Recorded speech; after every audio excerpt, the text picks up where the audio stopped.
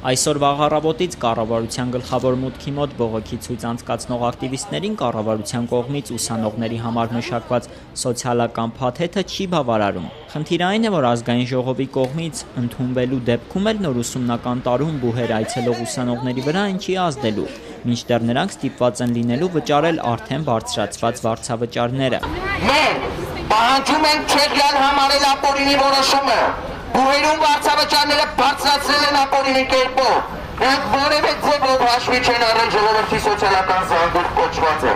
Պահանջում ենք, պահանջում ենք։ Երեք թեմային էր անդրադարձել նաև հանրապետության նախագահը։ Այցելելով կրթության եւ գիտության նախարարություն Սերժ Սարգսյանը հանձնարարել էր արագացնել ուսանողների համար նախատեսված սոցիալական փաթեթի մշակման եւ ընդունման աշխատանքները։ Ուսանողների համոզմամբ այս սոցիալական փաթեթը ընդամենը փափուկ բարձ է, որով փորձում են մեղմել օրեցօր աճող բողոքի ալիքը։ Բոլորս էլ գիտենք, որ այսօր երկրում շատ բան որոշում է Հայաստանի Հանրապետության երիտասարդը եւ հատկապես ուսանողը։ Նույն նախագահան ասում է երեք իր հայտարարության մեջ ասաց, որ կրթության ոլորտը Հայաստանի Հանրապետության համար նույնքան կարևոր է, կարևոր է, որքան պաշտպանության ոլորտը։ Այդ դեպքում պաշտպանության ոլորտի այդ հավասար նժարի վրա գտնվող այս ոլորտի ներկայացուցիչները չեն կարող դերի դուրս գալ փողոց։ Ուսանողները նաև իրենց պահանջներով նամակ էին պատրաստել, որը ցանկանում էին հանձնել կրթության եւ գիտության նախարարին։ Կառավարության նիստին շտապող նախարար Արմեն Աշոտյանը բողոքող ուսանողներին կոչ արեց նամակը ստորագրել եւ թողնել շենքի ընդունարանում։ Ուսանողների կողմից հնչող մյուս հարցերին պատասխանելու փոխարեն նա կոչ արեց հետևել կառավարության նիստին։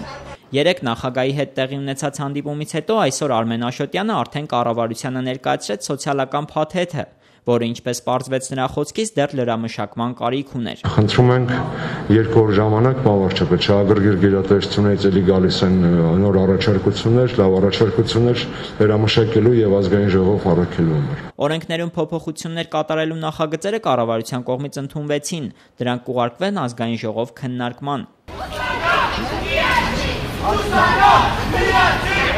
Կառավարության նիստի ընթացքում դրսում բողոքող ուսանողները երթով շարժվեցին բոլոր այն բուհեր, որտեղ ուսման վարձավճարները բարձրացել էին։ Նրանք խոստացան, որ ամեն ինչ դեռ արժևում է։ Սեպտեմբերին ակցիաները նոր թափ են հավաքելու։